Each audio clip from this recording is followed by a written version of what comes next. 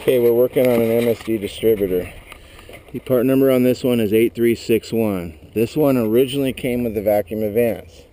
MSD has an 85551, I believe, something similar to that. It's the small block and big block Chevy billet distributor that you have to use the 6AL or 7AL box. This is the exact same distributor as that one, except for it comes with the option for the Vacuum Advance. Now I've removed the vacuum advance and I've put the block off in it, so now it is exactly the same distributor. It requires a 6AL or 7AL box.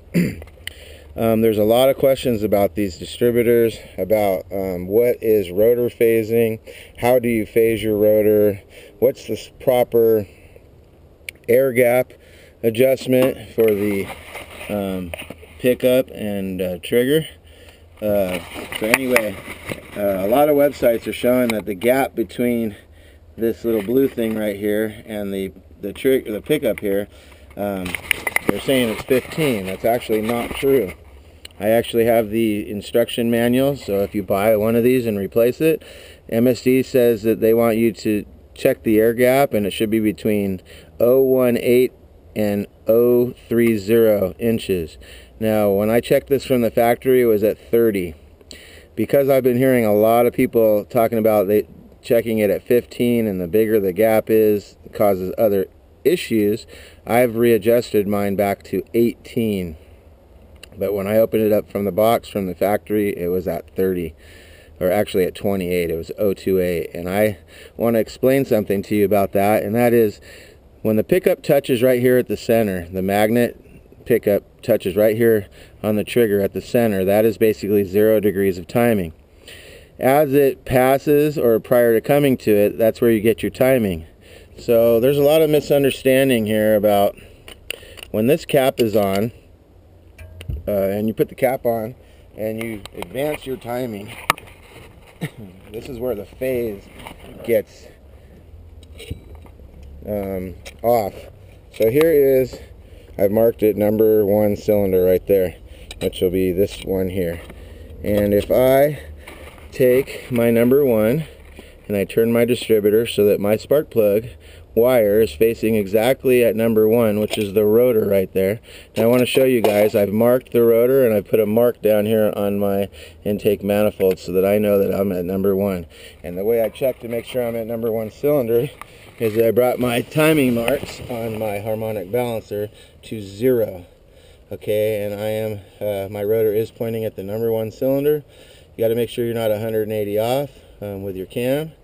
That's you need to take your valve cover off and make sure that both valves are all the way up when you're at top dead center and then you're pointing at number one cylinder. Anyway, so my rotor is now pointing at the number one cylinder. I'm right on the money, okay? And with my cap on, if I point my wire to number one, I should be at about zero degrees of timing. I have no advance and I have no re retard. Now if you look in here at the rotor, you'll actually notice I've put marks here. I'll put a little blue mark right here to mark right here. Um, when I have the distributor out, I don't know if you can see from inside of there with the camera, but the, these little reluctor here is actually pointing exactly at the pickup. So it's at zero, um, exactly lined up. So that would be zero degrees of timing. Okay, and as I turn the distributor, as you can see, the rotor never moves. Number one is always going to be pointing at number one, no matter what. This does not move. It's always pointing at the right cylinder. Where you get your advance is when you change the position of the rotor. So your advance is in this here, where this magnet pickup points at the reluctor here. That's where you get advance and retard, whether it's before or after. It has nothing to do with where your spark plug wire is in relationship. So what happens is when you advance your distributor, you change the position of where your wire is. Now that can become a problem. And that's where your phasing comes in.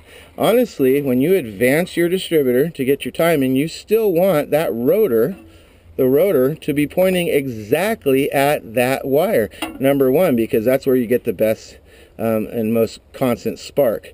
And that's why they um, want you to phase your rotor. Now everybody says drill a big hole in the top of your cap, use a timing light and look down. But here's another option that I have not seen on the internet and I do believe it'll work.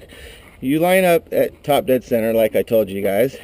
Get your rotor pointing where it is. Get it top dead center. Mark a point on your intake. Now line this up so your distributor cap is at, you know, is at a at zero and lining at the same spot like at the point. Now just turn your distributor just a tiny bit and that's probably two to four degrees of timing. Now your engine should start and run. Now adjust your timing in your engine. Get your eh, timing exactly where you want it. Bolt this down, turn off your engine and bring the harmonic balancer on the front of your engine back to zero or top dead center. Your rotor, like I said, you want to bring this back to zero, top dead center. And then your rotor will still be pointing at the same exact location it was before that you marked on your intake. Rotor and intake. But your distributor cap is going to be moved, advanced or retarded, depending on where you moved it. So let's say you move it here. So now my mark is not lined up with that mark. It's lined up, let's say, right here. So you want to put a mark right there on that. Just put a little mark there. Now pull your cap back off. Now you want to get an adjustable cap. They make them. The part number for this distributor and all the MSD uh, the 85551 uh, distributor I was talking to you guys about earlier. The part number for the adjustable rotor is 84211. And make sure you get the right one because there's an 8421 and an 84211. And you want the 84211 for this distributor.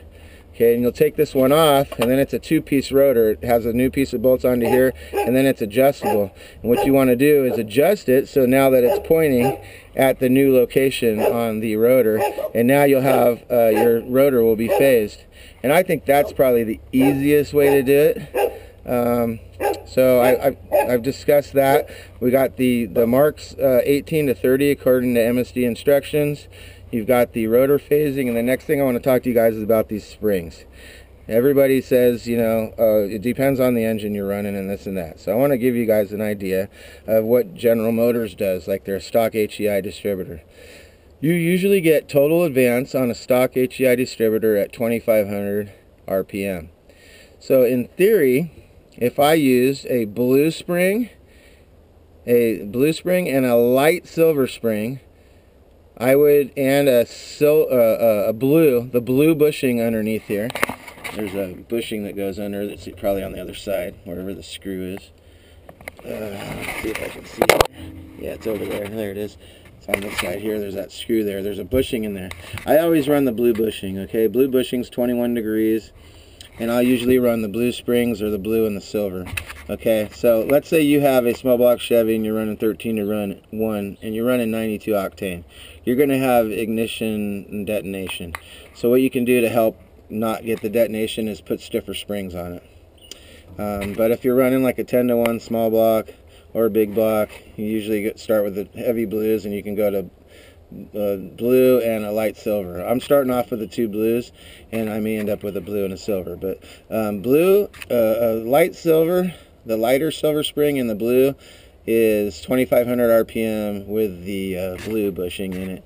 Uh, and that's probably right where you'd want to be on most most engines. But like I said, if you have high compression, um, there's lots of things that can change the idea, but most people don't get get you know, they're like, well, what do I do? What do I use? So I'm telling you, blue bushing and two blue springs will get you close to what you want. You'll be uh, about 2800 RPM total advance with this setup right here. Um, and it'll slow down your ignition just a little bit so you don't get ignition retard if you uh, are under a lot of load, if you're towing and things like that with your engine.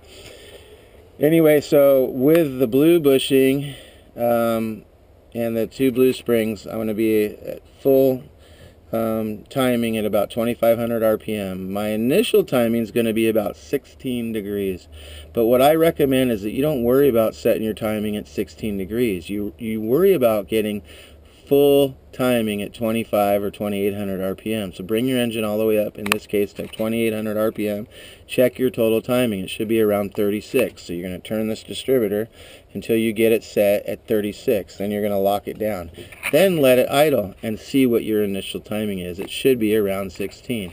But check it because that bushing could you know be a little bit off, one or two degrees one way or the other. So I don't go by initial timing, I go by total timing. The total timing you want is 36. Some people can say 34 to 36, but usually it's 36. So that's what most of the guys are running at the track. Anyway, um, I've seen guys run as low as 1800 uh, RPM total advance, which would be both silver springs. Some people swear by it. I don't go that low. I do 25 and nothing less. So 2500 would be the blue and the light light silver. Um, but anyway, hope that helps you guys out. Um, and there you go. Have a great day.